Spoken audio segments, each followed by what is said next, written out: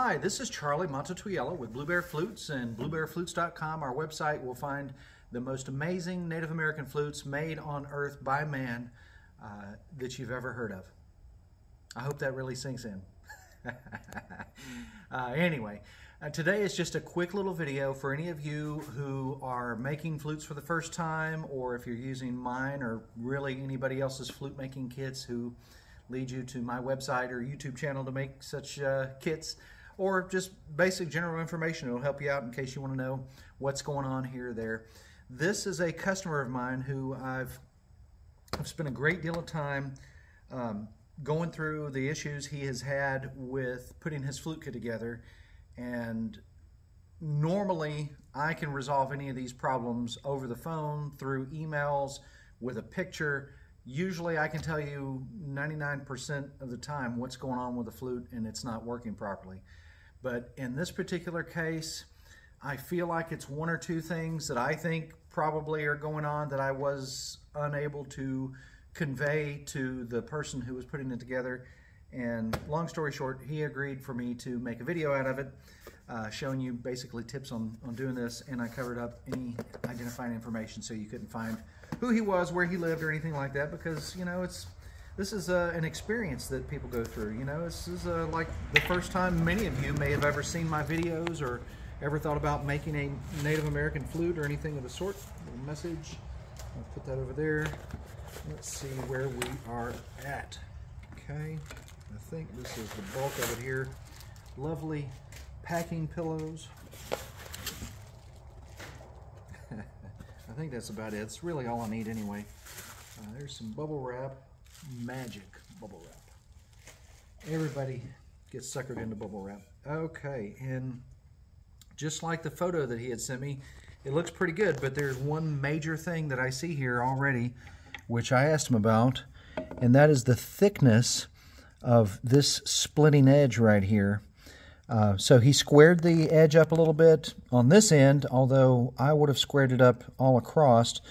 And most importantly, this should be a knife edge right here. It should be relatively sharp, and I believe you can see some of what I'm talking about. I know if I grabbed a flashlight and showed you, it would probably help out, but you can see the knife blade is actually touching the inside edge of this sound hole, and this needs to be sharp. So I'm going to do this right, well, let's try it with its block and as it is made currently first.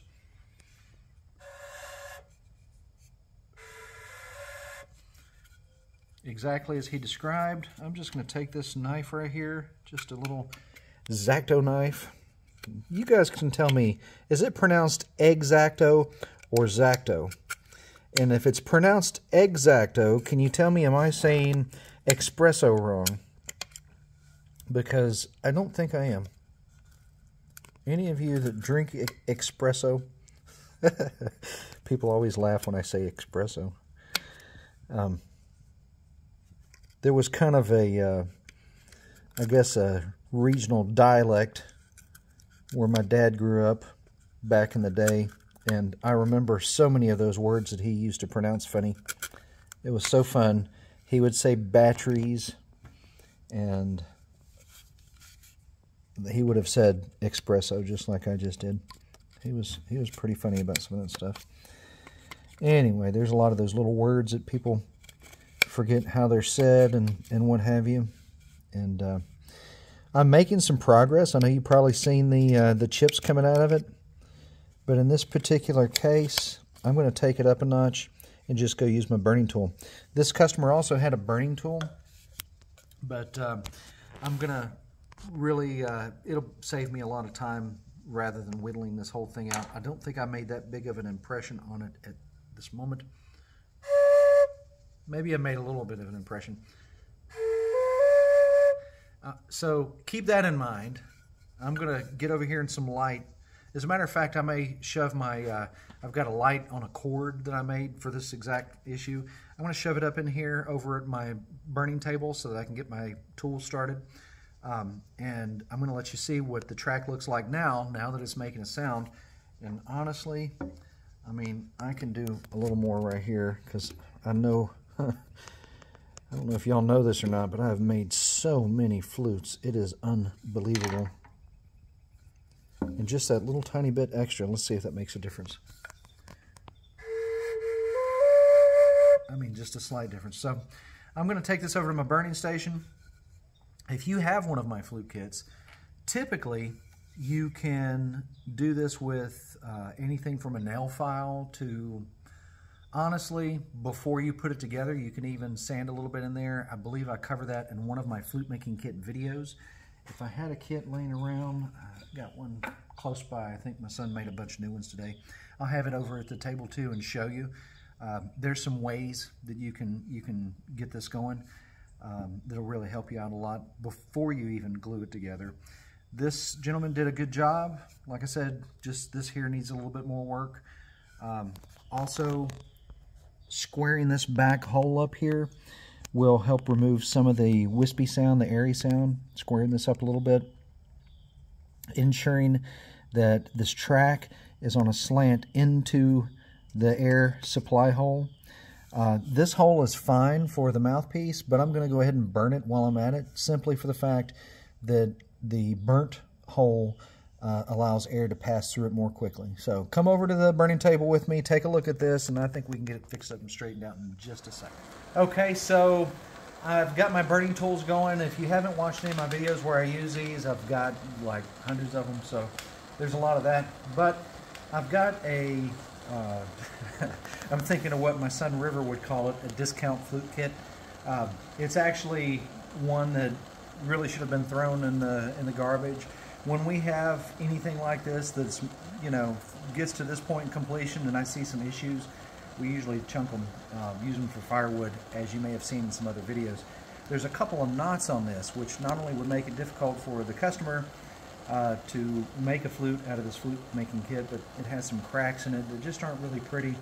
And uh, anyway, the reason I say these is for teaching purposes, and this is the perfect time to use it. So, look at this hole here, normally this would be burnt out when you get it.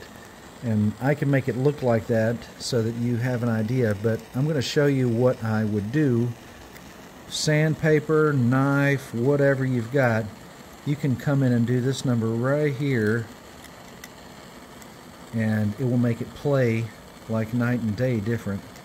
The reason I don't do this on my flute kits to begin with, because let me show you how quick and easy it would be.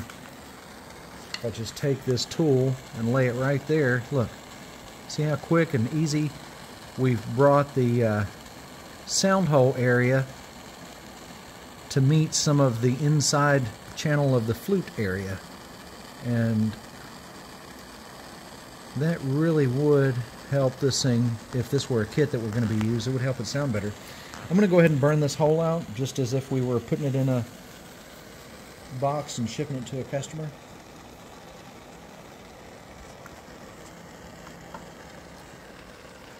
normally this hole will be burnt out too but it's not really necessary for me to do this right now.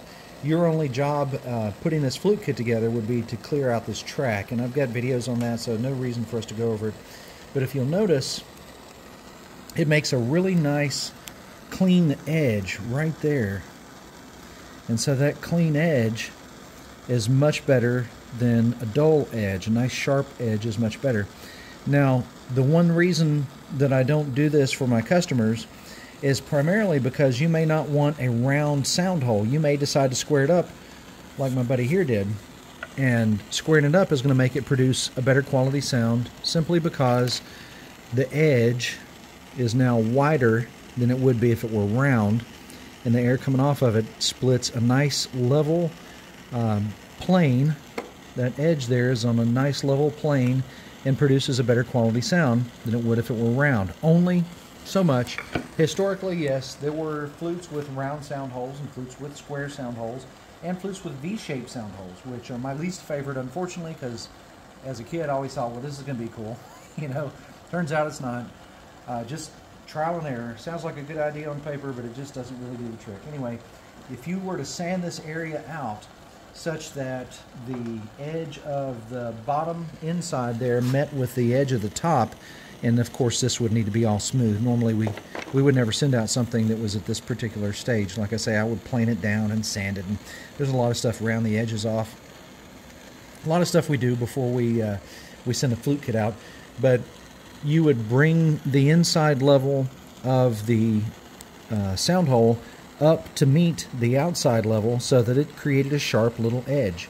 Um, you can see this in any of our other flutes, like this dude right here has an incredibly sharp edge, right? Okay, and then as promised, I'm to grab this light for y'all. This is just a little something that I, I kind of built using a uh, LED tail light from a car and a battery pack that I bought on Amazon for a couple bucks. has a switch on it, which is really nice. And so I put some wire in between there, and here we go. So I'm going to first show you in a flute that has a nice sharp sound edge what this should look like. Wow, you can see that really good.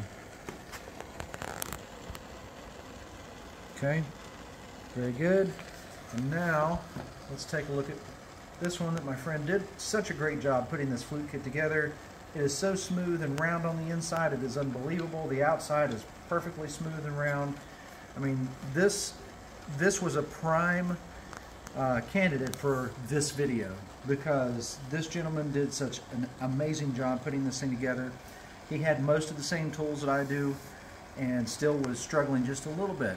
And so for his sake and for everybody else watching this, I wanted to show you the thickness of that splitting edge. It's not really much of a splitting edge, it's more like a brick wall that it hits and the air channel, which is nice. It's a little deeper than it, uh, you know, I felt like it should be, but it's not bad at all. Obviously made a pretty decent sound to start with. Uh, the air channel uh, is a little deeper, but once I put this sharpness on this, and I'm going to show you, just going to go right in there.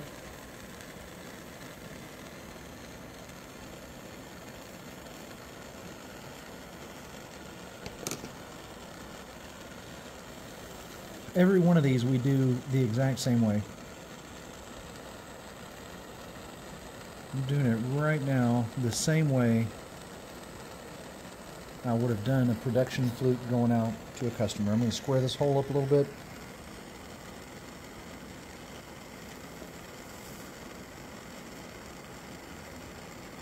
It's very important that the back hole is the same width.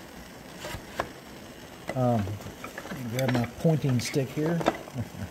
it's important that the width of this air supply hole is the same as this guy right here, uh, as your sound hole, and that the track goes directly between the two, um, the same width, because it keeps the air uh, going in a straight line instead of building up some pressure or changing and creating little whirlies and jetties in there that don't need to be made.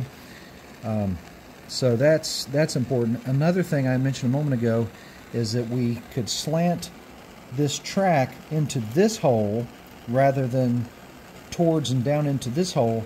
It would help us out immensely, and that's what I'm going to do in just a moment. Let's see here. Let y'all watch this if you can. Okay. Now I'm going to square this hole up, this track, which was an amazing job for this gentleman to have done. Just perfect. Nice track, which makes such a difference in the sound quality of a flute. Now that I've burnt that, I can tell that this side is just a smidgen higher than this side over here is. So I'm going to bring this down just a pinch. Now, let's say you were doing this and you didn't have burning tools. Well, you're in luck. You don't need them. Sandpaper will actually produce the same effect. It just takes a little longer. And I know we're all in a hurry, but you're not making thousands of these. And you need to learn from, and I'm not talking to my customer, I'm talking about anybody that's watching. Uh, you need to learn from your mistakes, just like I did. So take your time, do a good job, I mean, we answered the problem to this flute in the first few seconds of this video. It was basically hitting a brick wall there. And in just a second, as soon as I clean that, that um, knife edge up underneath a little bit more, I'm going to show you what it's going to look like, and we should hear a sound difference that will be incredibly impressive and deserving of someone who has already put so much work into such a great job making this flute. Okay, one other little tidbit that I'm going to do is even though it's not 100% necessary to put the uh, slant on the inside of this uh, hole, I do it anyway just to ease up uh, airflow because anything you can do to smooth the airflow, I mean, that's the reason I started burning the tracks and what have you in the first place. But anything you can do to smooth up the airflow is for the best.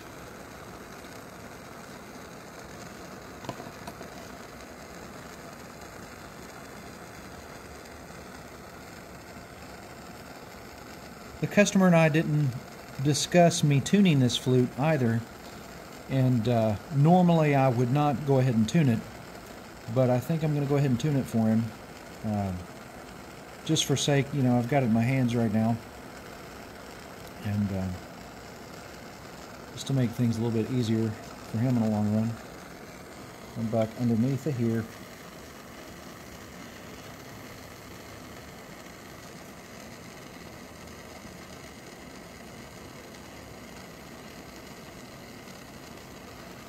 So something I want to point out, I just went kind of side side to side this way and that way as I was making this edge here.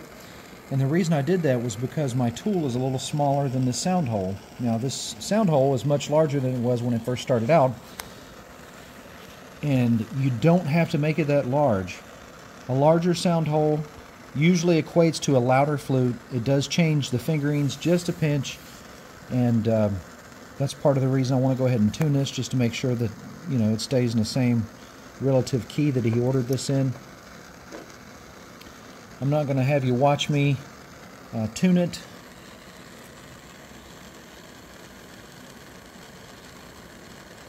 But I will play it at the end of the video just so you can hear it. And I will play in just a second too to let you hear what it sounds like now, let's say you burnt this track too deep. What would you do? I have a video about that. It's called Repairing a Flute Track That Is Too Deep. If you can't find it, let me know. I'll post a link. It's not that bad, though. It's, it's pretty dang close. It's within a millimeter or two of what I normally do.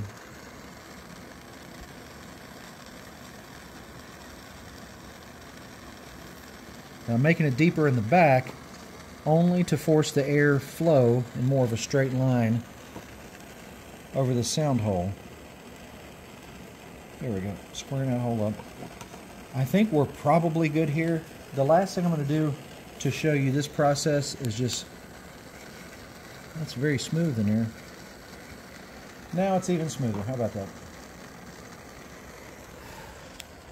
Now one tiny little pinch, hey baby, she's right on cue. All I have to do is stick a can of tuna fish in my pocket, and she comes in every video. I'm just kidding. She ate about 20 minutes ago, and she's probably thanking me for that, and she probably wants to go in the house, don't she? Anyway, she's like a little monkey. I'm cleaning this edge just a little bit, just to give it a little bit of a slant. I tell you what, putting catnip on my necklace was a brilliant idea for videos. No, I didn't really do that. I'm to blow through this. You are a mess. Okay, I'll tell you what. It's winter time. You can get on my shoulders and be in a video. How about that? Go ahead. You gonna get on my shoulder? No? You getting too big to be on my shoulder?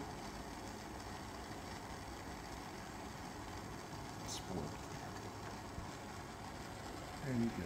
Here, you're going to sit in my lap because I have to have my hands, okay? There You're getting down. No?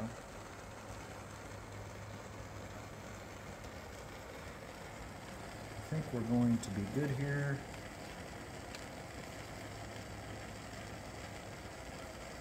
Let's see what this sounds like.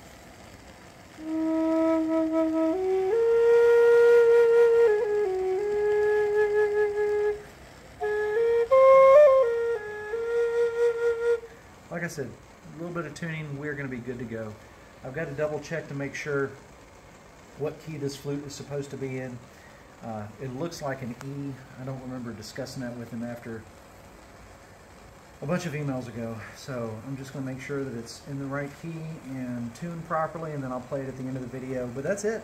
You can see what difference uh, cleaning that sound hole up made, and I'm going to show you one last time by putting this light in here so that you can get kind of an idea of what a really sharp looking sound hole looks like. Okay. Take a look in there for me if you would and tell me if that looks a little bit better. Okay. So you can kind of see what's going on. You know, one thing this light is really good for is uh, if I have a flute that is questionable, like this one has these knots. There are times that I send flutes out that have knots in them, but only if I make the flute. I don't want my customers having to make a flute kit like this uh, and having to deal with those knots. That's just a nightmare for hand tools. Um, but anyway, so I'll check the knots by running the light up through it and that'll show me if there's any air leaks. And a lot of times it'll, you know, it'll show you the tiniest little air leaks. I mean, that's a very bright, uh, bright light that I've got there. You're a mess. You're such a mess. Uh, but that's really it. And uh, like I say, very simple. You don't have to have burning tools. Uh, what you do have to have is just a little bit of time on your hands to, to sand that out with a file. Like I say, my little jeweler's file here would do it, but uh, these things are so um, fine instead of coarse that it would take you a little while and it may get gummed up in the process and you have to start over again. Uh, so that's where I usually tell people something a friend of mine uh, who also has the same first name as his customer, coincidentally, uh, I've been knowing this guy forever and a day. Uh, you drooled on me. Anyway, um, had told me, hey, look, have you ever thought about cutting a cardboard fingernail file to fit the size of your track and then sanding it with that? I'm like, well, that sounds like a great idea. For me, it's not very, you know, necessary because I use burning tools. But for anybody making flutes by hand, it is definitely a good way to, uh, to go if you need something to sand and chip out a little bit. Like I say, a very fine tip uh, X-Acto blade or Zacto blade. A very fine one of those would, uh, would certainly do the trick and would give you, uh, you know, an opportunity to make a, a nice sound, as you've seen in the beginning of the video. So, if this video has helped you, please let me know. We have so many other interesting videos to come. We've been trying to catch up on work, which we've done pretty good. We've actually, for this time of the year, we're doing really good, getting orders out in a reasonable time frame. Uh, let me say that slowly. We are getting orders out in a reasonable time frame, uh, which is very good. I mean, I'm, I'm happy. Customers are happy. So it's working out good. Um, and we're planning, we've been talking every day about some of these new videos we're going to be making. This is one I really wanted to get done. He had sent his flute back to me. I received it yesterday. I'm going to send it back to him tomorrow. And uh, just uh, something I wanted to make sure that it was going to be easy and, uh, and something that he could reproduce if he wants to make another one himself. Uh, and the same thing for all of you. Like I said, just a little bit of, of adjustment and that that knife edge is uh, is sharp enough um, that uh, it makes a good quality sound. So you don't have to have burning tools. Like I said, X-Acto knife, uh, sandpaper, preemptive work on the inside before you put it together. All of that helps. Um, you could do this with a Dremel. I mean that that's what I've done it with when I have flutes that I know I'm not going to be able to get too much to uh, on the inside. I do it with a Dremel. Um, but that's really it. So anyway, if uh, this video has helped you out, like I said, let me know. Uh, give us a thumbs up and a like and all that stuff that YouTubers are always begging you to do so that I can keep on doing this, I hope. Um, like I said, I've got a lot of other great videos coming. If you ask me a question in this video, I usually don't ignore most of my comments. I usually reply to 99% of them, even the stupid ones, so don't feel like yours is going to be stupid. There's really I only get one or two of those every year or so and they're nothing to do with reality or flutes. You know, it's like, is your necklace made out of wood? No, it's not. That's not really a stupid question, but you know, there there have been some stupid questions, and for any of those that you'd like to see, I've got videos about that. Uh, but anyway, uh, like I said, check out some of my other videos on flute making. I've got every answer to every question you could dream of. This one basically answered in three other videos, but like always, I like to uh, to try to make a summary of that to help people out. So once again, Charlie Mato-Toyela signed out for Blue Bear Flutes and BlueBearFlutes.com. And uh, don't forget to check out our website, our Instagram, which is something very beautiful, which is Blue Bear Flutes, just like our TikTok. And come back and see us here on YouTube again very soon. Take care.